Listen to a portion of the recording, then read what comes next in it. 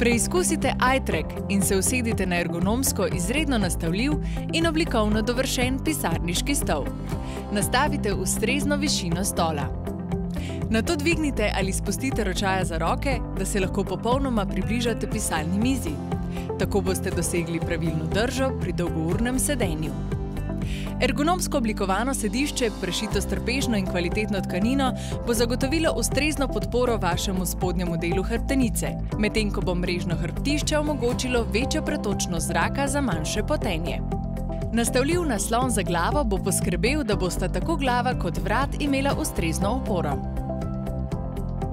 Enako funkcijo smo integrirali za ustrezno oporo hrbtenice. Enostavno potisnite naprej hrbtišče stola in ga namestite na željeno višino. Nastavite lahko tudi jakost ledvenega dela z obračanjem kolesnega mehanizma. Tako boste nastavili stol, da se bo prilegal ravno vašemu telesu. S funkcijo nastavitev naklona lahko stol spustite in ga zaklenete v željenem položaju za udoben počitek. Hrbtišče lahko pustite tudi odklenjeno.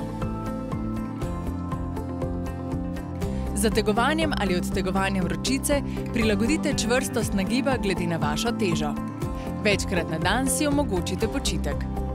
Zaradi odlične zasnove nagiba bodo noge vedno poravnane s tlemi, vaš krvni pretok pa zato boljši med večurnim sedenjem.